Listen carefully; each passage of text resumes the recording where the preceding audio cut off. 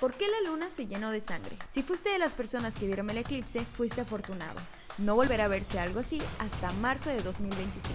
Al eclipse que viste se le conoce como luna de sangre por su color rojizo. El color de la luna fue un efecto de los ojos. La atmósfera de la Tierra tiene polvo, arena y cenizas volcánicas que absorben la luz azul, verde y amarilla del Sol, dejando pasar solo las tonalidades rojas que se reflejan en la Luna. ¿Pero qué pasó en este eclipse? Nada. No salieron ni hombres lobos ni te convertiste en un panda rojo gigante. El Sol, la Tierra y la Luna se alinearon, haciendo que la luz del Sol atraviese la Tierra y se refleje en la Luna, similar a lo que pasa en un atardecer. ¿Habrán más de estos eclipses? La NASA ha pronosticado cuatro para este año.